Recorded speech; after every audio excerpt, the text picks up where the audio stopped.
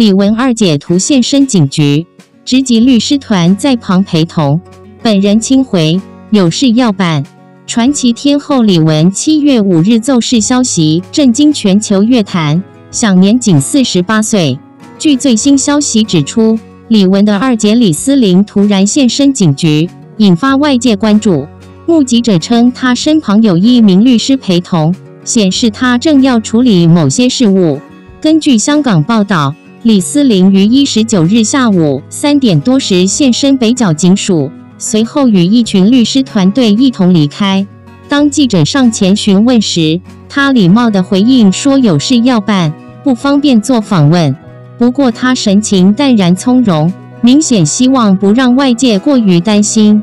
李玟的告别式将于本月三十一日在香港北角的殡仪馆举行，隔日将进行火化仪式。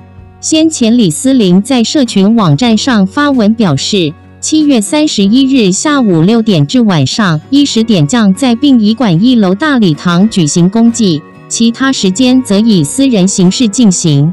许多来自世界各地的李玟粉丝已表达意愿前往香港吊唁。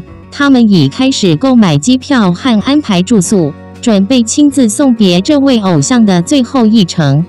感谢您收看猫 TV 新闻频道，记得点赞、分享和关注，每天更新最新消息。在评论部分让我知道你的想法。